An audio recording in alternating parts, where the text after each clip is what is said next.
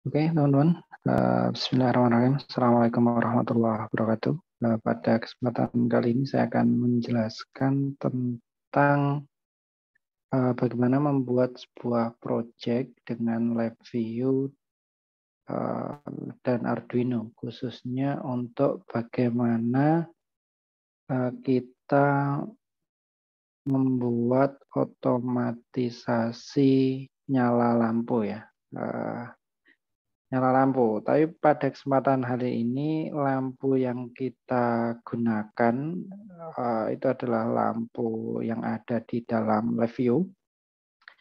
Uh, karena lampu ini ya, alat saya lampu LED harusnya pakai LED ini, tapi karena LED-nya mati ternyata ya, uh, sehingga LED-nya itu nggak bisa digunakan, maka uh, kita gunakan nanti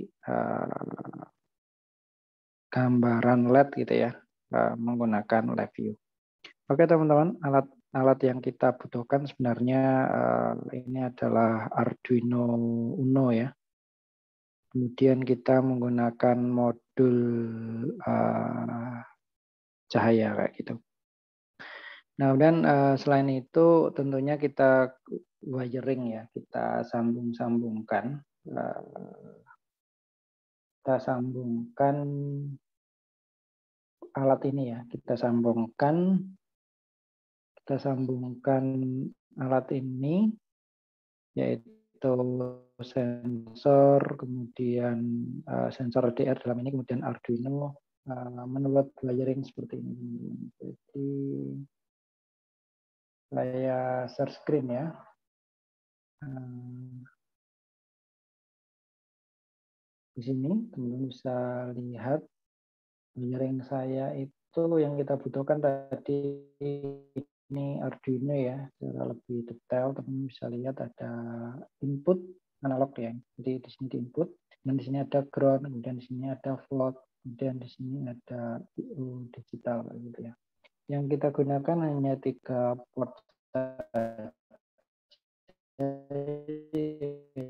itu uh, input uh, analognya. Nanti ketika kita menggunakan output, kita bisa menggunakan IO ini. Pada simulasi ini kita belum ya, belum menggunakan uh, IO-nya kayak gitu ya teman-teman ya. Oke, kemudian ini modul sensornya ya. Sana ada kalau teman-teman lihat secara detail ada ada stop screen dulu ya. Di sana ada, belum bisa lihat, di sini ada input analog itu. Hmm, fokusnya kurang.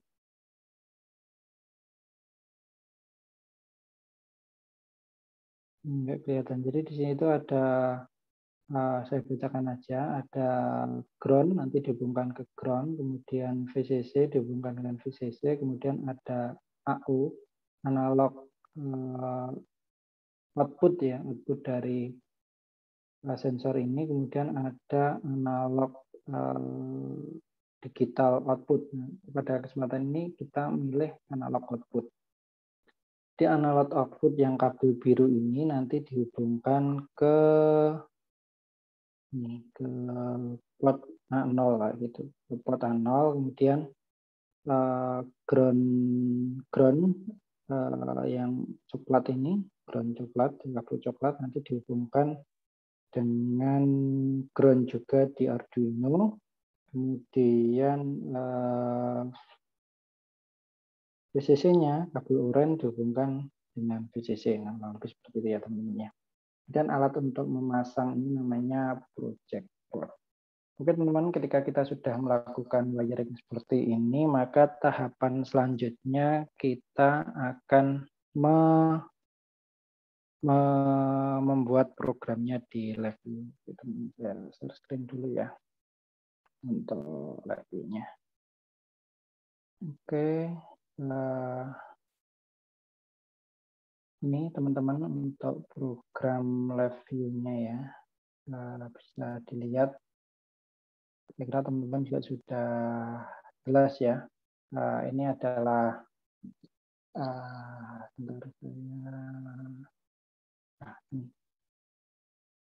ini. Saya perlihatkan di bagian ini ada lampunya saya perlihatkan di sini. Nah, ini ada aplikasi otomatisasi lampu. Pada pertemuan sebelumnya mungkin sudah kita bahas ya untuk uh, cara membuatnya. Kemudian di sini ada tampilan solar radiasi, dan di sini uh, lampu kayak gitu ya. Nah, ini lampu lampunya sebenarnya ini harusnya terhubung ke LED ya, tapi ke LED hardware. Tapi karena LED-nya rusak, maka bisa kita simulasikan lewat software yang ada di sini. Tapi secara program nanti tinggal menambahkan output gitu. Oke teman-teman, uh, di sini kemudian saya jelaskan terkait dengan ininya ya, terkait dengan programnya yang uh, saya full screen aja. Uh, ini wiring programnya untuk yang uh, solar radiasi ya. Uh, seperti ini programnya. Ini berdasarkan pada uh, jurnal ini teman-teman. Jadi ini ada jurnal Renewable Energy dan Renewable and Sustainable Energy Review ya, judulnya komparatif performan dari solar panel itu. Maka solar panel mengukur solar kita ambil formula yang ini bahwa solar radiasi itu solar radiasi itu adalah uh, rumusnya sama dengan 4464,9 kali E pangkat min 17,73 kali V out. Nah, V out di sini adalah V output analog tadi ya dari solar panel. Oke, kemudian kita menuju ke sini. Jadi eh, kalau kita menggunakan Arduino, maka kita memilih ini ya. Eh, saya jelaskan dulu nanti kita bikin programnya gitu ya. Memilih eh, input menggunakan link kayak gitu ya. Memilih input, ini input, input nanti ada serial port gitu ya. Ketika kita menancapkan menancapkan Arduino di komputer nanti portnya uh, sudah akan muncul secara otomatis ya. Port berapa nanti port itu kita pilih. Port rate itu berarti uh, semacam rate transfer datanya kayak gitu. Nah, kemudian karena kita membaca data, membaca data maka kita analog read. Nah, ini berarti membaca data dari Arduino. Nol ini apa? Nol ini berarti uh, tadi port untuk masukkan output tadi adalah nol gitu ya. Nah kemudian di sini ini ada outputnya berarti voltage tegangan dari uh, eh, LDR itu berapa. Nah kemudian uh, hanya ditampilkan saja. Kemudian ini pemrosesannya ya yang berdasarkan formula tadi. Tadi kan ada 4464,9 kali E pangkat. Nah kali E pangkat menggunakan E pangkat min 77,73 uh, kali V out. V out-nya adalah voltage dari output eh, LDR itu sendiri kayak gitu ya. Nah, sehingga keluarannya nanti adalah solar radiasi. Nah, kemudian dari solar radiasi ini kita mengatur. Tentunya ketika solar radiasinya tinggi itu kan terang gitu ya. Nah, terang. Kemudian kalau rendah berarti kan uh, asumsinya gelap kayak gitu. Maka ketika terang itu tentunya nyala lampu itu uh, mati. Tapi ketika gelap uh, nyala lampu itu hidup. Nah di sini maka kita program, kita program ya, uh, kita bikin batas ambangnya radiasi itu 100 misalkan, atau sebenarnya bisa dipilih ya, bisa diukur uh, yang real nanti berapa kira-kira ambang batas sesuai kebutuhan. Katakanlah misalkan 100, maka kita program ketika 100 kurang dari 100, nanti maka dia akan nyala. Tapi kalau lebih dari 100 akan mati. Maka programnya menggunakan kurang dari 100, ya enggak? Oh iya. Ini true and false ya. Ketika false atau true, dia akan menginputkan true atau false. Sehingga akan apa memerintah lampu ini untuk nyala atau hidup. Nah, ketika nanti pakai hardware yang sungguhnya ya LED atau mungkin juga lampu dari listrik PLN juga bisa. Kalau listrik PLN berarti nanti menggunakan uh, tambahan apa itu? Tambahan uh, relay ya. Gunakan tambahan relay. Berarti nanti di sini tinggal ditambahkan di sini uh, analog rate gitu ya, analog rate kayak gitu.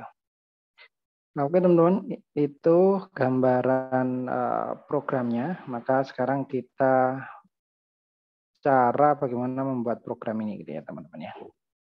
Uh, kita new VA aja kayak gitu. Misalkan new VA seperti ini teman-teman. Nah, uh, di sini teman-teman bisa milih di bawah ya besarkan aja new VI teman-teman bisa milih uh, ini marker hub. Nah ya pilih link. Pilih link marker hub pilih link kemudian bisa analog ya. Analog. Nah bisa read. Nah tadi untuk ambil yang read tadi. Kalau yang butuhnya read nanti pilih read juga. Kemudian ambil lagi marker hub Nah, kemudian link. Nah, ini kan open. Nah, tadi open mulai. Kemudian pilih lagi marker hub. Link. Close. Nah, gitu. nah, di sini kemudian karena program berulang-ulang, maka kita menggunakan while loop. Nah, kayak ini while loop. Ya. Nah, maka kita hubungkan teman-teman ininya. Dan seperti ini ya, wiringnya ini kita hubungkan sini. Nah, kayak gini. Analog ini apa sih? Analog rate benar sebenarnya ya. Kita lihat aja ini. Oh, salah. Ini salah nyambungkannya ya, teman-teman. Kalau salah nyambungkannya jadinya kayak gini. Kita delete aja. Jadi yang atasnya juga harus dapat yang atasnya. Nah, kayak gini ya, betul kan? Nah, kalau salah kayak tadi. Ini kok nggak nyambung ya?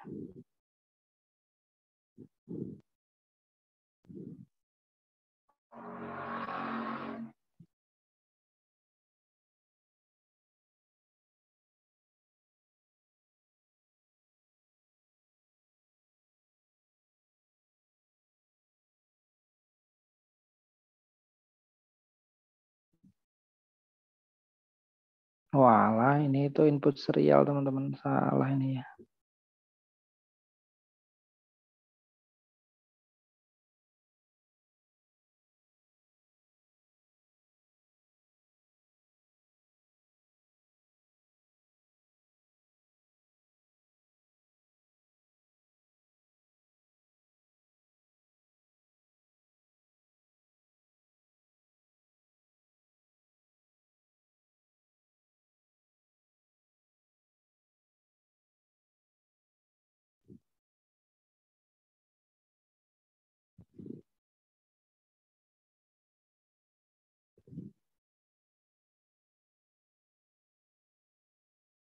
Uh, sebentar teman, ada kendala nyambung atau kenapa?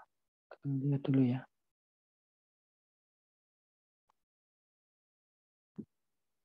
Open. Uh, kemudian bisa kita copy aja teman ya. Bisa kayak gini, kita sambungkan. Nah kayak gitu, oh ini atas bawah ternyata ya. Harusnya paling atas ya teman-teman ya, sorry. Kita delete aja, nah, pakai yang bawah aja. Nah, ini.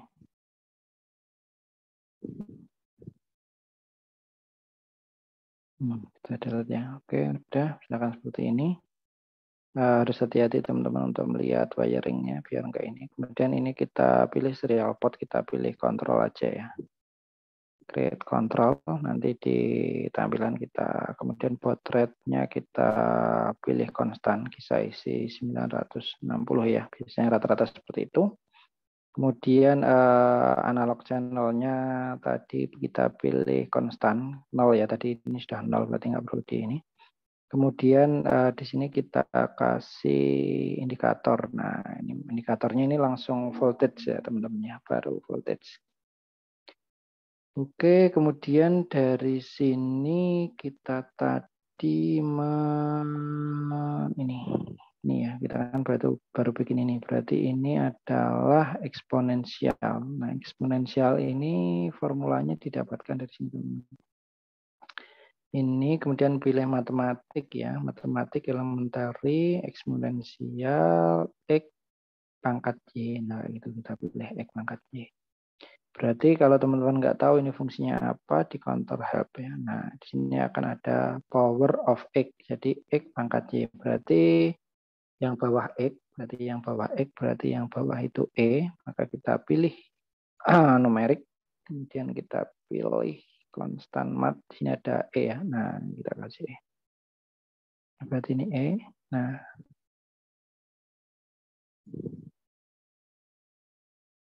yang atas tadi ini kalau datanya nggak sama hasilnya seperti ini nanti kita lihat ya teman-teman ya. Kemudian yang atas tadi uh, berapa tadi ya?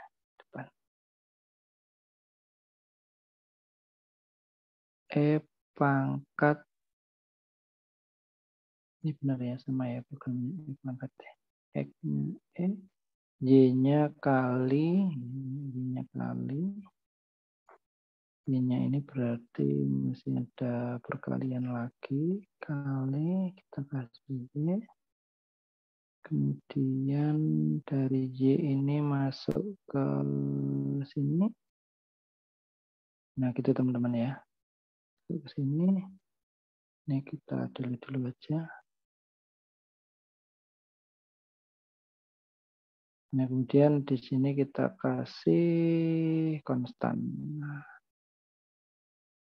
kurang rapi. Nah, teman-teman bisa merapikan kayak gini ya.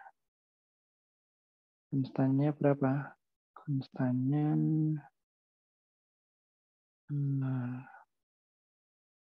nah konstannya tadi nilainya adalah min 17,73. Berarti ini min min 17,73 gitu ya. Dan uh, di sini. Dan hasil ini dikalikan ya. Hasil ini dikalikan dengan 44,64 sesuai formula tadi. Hasil ini masih dikalikan kita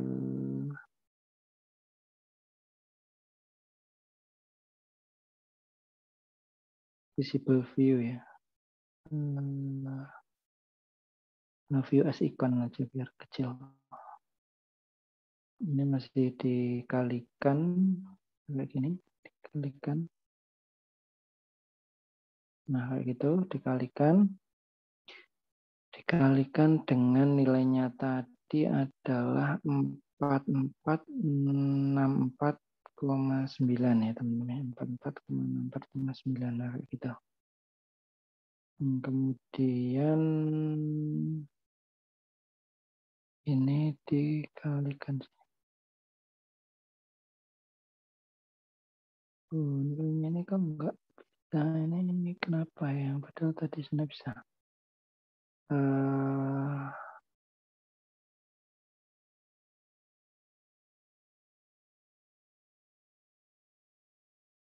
Oke, kita cek lagi teman-teman.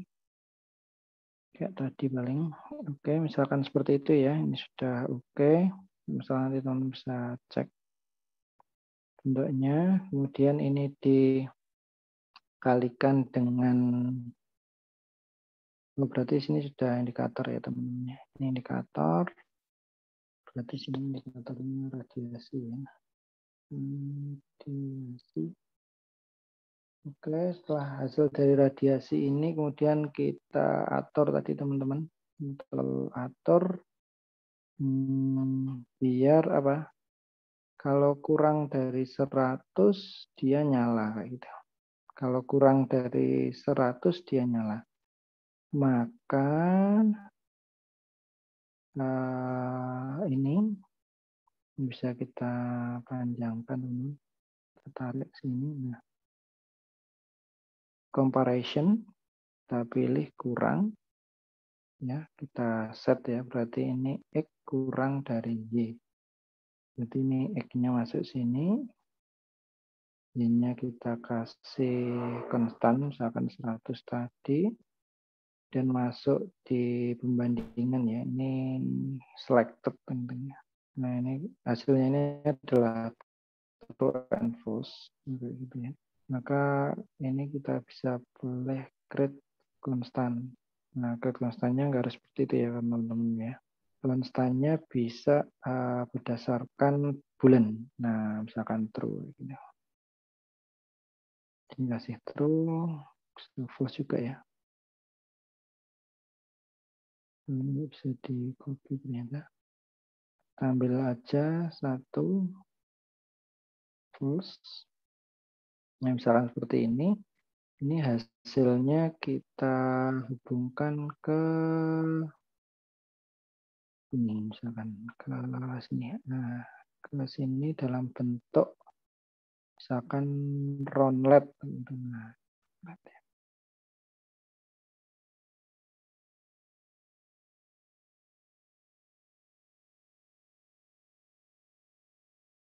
kita besarkan. Nah, kayak gini. Ya, untuk menampilkan grafik tadi pakai uang cat ini. Nah, kira nah, teman-teman bisa rapikan, rapikan, rapikan ya. Dan kembali ke sini kayak gitu. Ini kan tampil ya. Nah, ini pengen ke sini. Ini dihubungkan ke sini. Nah, ini tadi untuk menampilkan radiasi maka dihubungkannya ke sini ya. Nah, kayak gitu.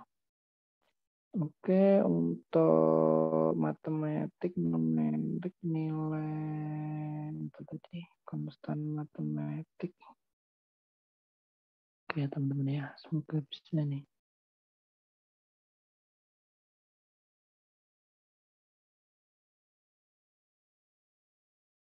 Uh, nggak bisa, nggak tahu ini kenapa. Eh, dua pangkat sekian.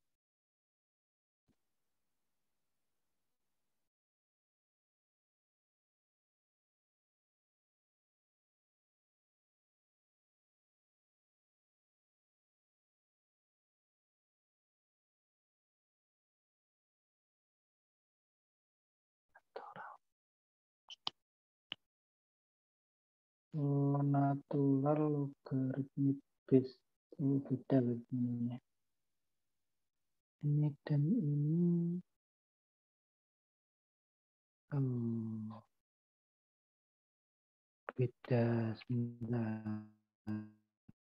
Itu tadi dapatnya dari numerik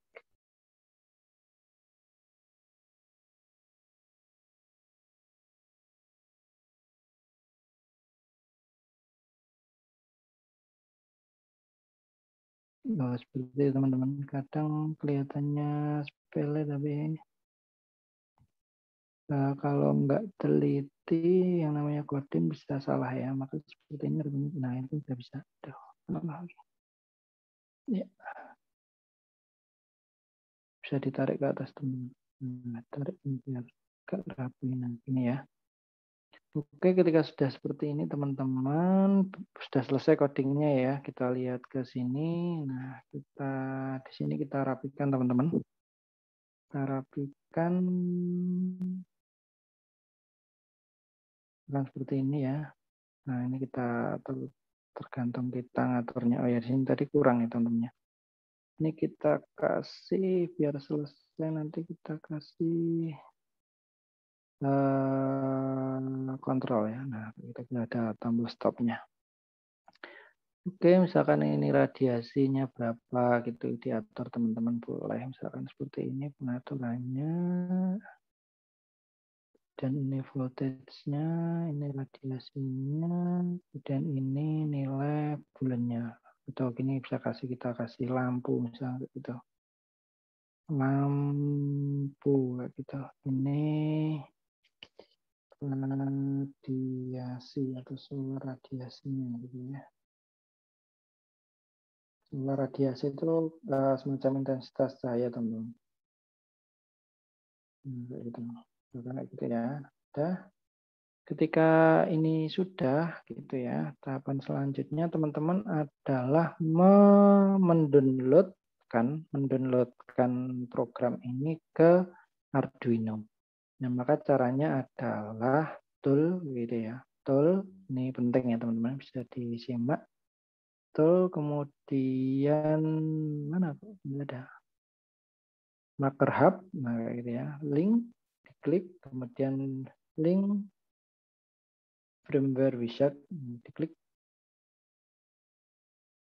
nah akan muncul seperti ini ya nah, muncul seperti ini teman-teman bisa pilih tipe Arduino nya kalau saya pakai Uno berarti klik Uno kemudian di next gitu. di next sini pilih uh, berapa gitu kemudian di next gitu nah kemudian build firmware di next gitu ya sampai nanti ini kan sudah tak, tak downloadkan. Nah, gitu. Di next. Nah, nanti akan proses seperti ini mengupload programnya. Oke, kalau sudah selesai berarti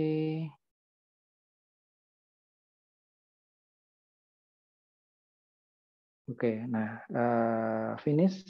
Nah, ketika sudah finish berarti tahapan selanjutnya kita mencoba aplikasinya, teman-teman.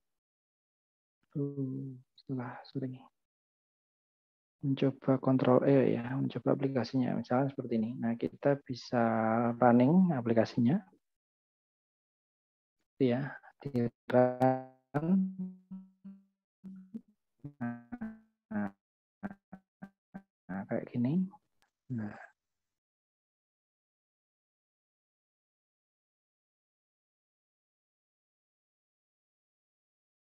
Oh ini berarti kalau kayak gini tidak jalan ya teman-teman ya.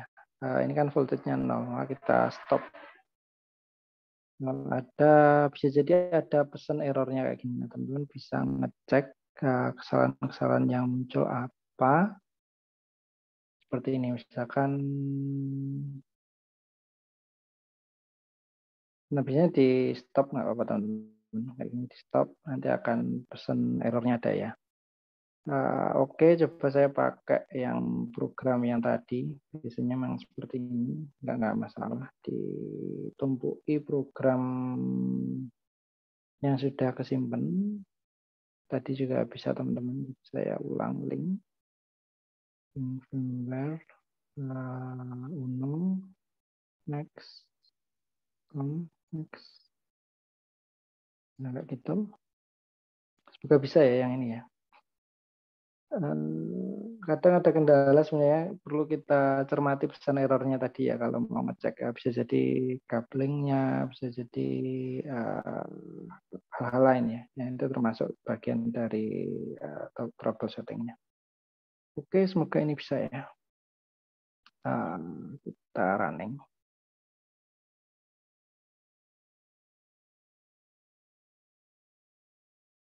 Oh ini running teman-teman, program yang satunya itu running. Uh, tadi mungkin karena belum disimpan atau apa ya kendalanya sehingga error. Ini bisa dilihat nyalanya lampu, lampunya nyala karena solar radiasinya rendah ya, dua pangkat 9,5 eh, kayak gitu. Nah uh, ini misalkan saya nyalakan lampunya ya, saya nyalakan saya apa, uh, Arduino-nya bukan LED-nya tadi kita kasih lampu kayak gini. Ini kita kasih lampu. Nah bisa dilihat ya perubahannya ya. Ini saya sinari. Sinari ya solar radiasinya naik naik naik kan. Saya dekatkan lagi naik naik naik. Nah. Saya dekatkan lagi lebih dari 100 kan mati. Nah ini nyala. Lebih dari 100 mati ini nyala gitu ya teman-teman ya Nah, kayak gitu proses uh, solar radiasinya kayak gini ya. Nah, jadi kelihatan uh, perubahan solar radiasinya di grafik itu. Misalkan ini 6, tapi ketika saya dekatkan lagi, semakin kecil voltage-nya, solar radiasinya semakin besar. Nah, ini 100 lebih, uh, eh, 200, maka apa lampunya akan mati. Nah, Oke okay, teman-teman, seperti itu. Uh, kalau teman-teman mau lihat di versinya yang hardware ya, hardware sebentar. lihat yang hardware. Uh, ini saya close stop sharing dulu. Nah kalau versinya hardware maka lampunya disinari kayak gini. Sinari pakai HP ini. Nah pakai HP kayak gini jadi terang gitu ya di sensornya tadi pakai lampu senter atau yang lainnya kita terangi sehingga pengaruhnya akan terjadi kayak uh, tadi ya. Nyalanya lampu yang sana akan mati. Seharusnya ketika ini terhubung ke, ke LED ke LED ini ya, nah ini LED-nya akan nyala, tapi karena LED-nya memang mati, ya tidak bisa dihubungkan. Tapi secara prinsip eh, teman-teman ketika mau menghubungkan gitu ya, teman-teman mau menghubungkan ini Nah, teman-teman tinggal menambahkan nah, menambahkan menambahkan ke sini ya. Lampu ini di sini ditambahkan analog. Hmm. Lampu ini ditambahkan analog bright gitu yang terhubung ke port nomor Bapak di Arduino yang menghubungkan ke itu. Uh, Oke okay, teman-teman, saya kira itu untuk uh, kesempatan kali ini terkait dengan uh, aplikasi otomasi lampu ya. Uh, aplikasi otomasi lampu menggunakan Arduino dan pemrograman LiveView Eh, semoga bermanfaat. Terima kasih. Bila taufik wa Assalamualaikum warahmatullahi wabarakatuh.